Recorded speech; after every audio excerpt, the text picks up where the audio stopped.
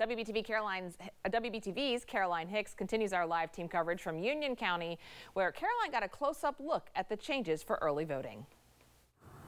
Early voting in Union County will look a little bit different this year. Markings on the ground show you where to stand as you wait in line to vote. And once you get inside of that voting location, you'll also notice some changes. You can see that the booths are spaced at least six feet apart.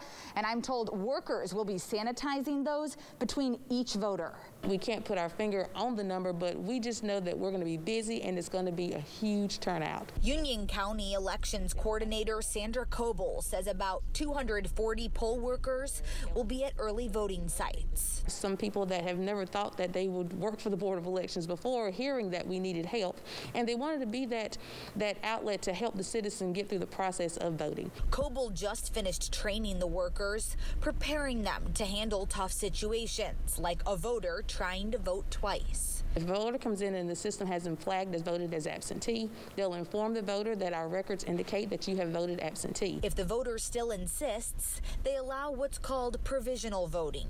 Provisional ballots are held and researched by the team of provisional workers at the Board of Elections office between November 3rd and November 13th. They are still setting things up, getting prepared for early voting. When you show up to sign in, there will be a plexiglass barrier set up here, separating the voter from the poll worker.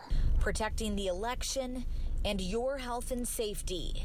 They will offer each voter a mask and hand sanitizer at the door. We just want everyone to be able to get out and vote, whether it's early voting, voting by mail, or on election day. There are eight locations in Union County that are set up for early voting, and I'm told each of them has a similar socially distanced setup to this one. Early voting kicks off at 8 o'clock on Thursday. I'm Caroline Hicks reporting in Union County, WBTV on your side.